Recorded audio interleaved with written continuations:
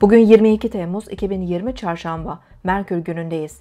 Aslan Burcu'nda ilerleyen ay 3.27'de İkizler Burcu'ndaki Venüs'le yaptığı uyumlu açının ardından boşluğa girecek.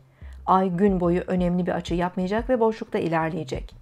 Bugün kişisel keyif ve konfor alanlarımıza daha fazla çekilebilir, eğlenceli ve yaratıcı faaliyetlere zaman ayırabiliriz. Sanatsal çalışmalar, hobiler, sosyal etkinlikler, romantik ilişkiler ve çocuklarımızla ilgili konular gün boyu önceliğimiz olabilir. Ay boşlukta ilerlerken yeni kararlar vermek, girişimlerde bulunmak ve önemli alışverişler yapmak verimli olmayabilir. Akışta kalıp süre gelen işlerimize zaman ayırabiliriz. Güzellik, estetik, kişisel bakım, keyifli ve eğlenceli zaman geçirebileceğimiz etkinlikler, dinlenmek için günü değerlendirebiliriz.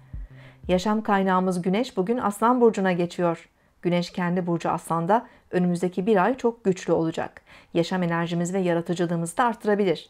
Güneş Aslan Burcu'nda ilerlerken aşk, romantizm, sanat, eğlence, lüks, konfor, çocuklar, oyunlar, organizasyonlar, liderler ve ünlü kişiler daha fazla ön plana gelip dikkat çekebilir.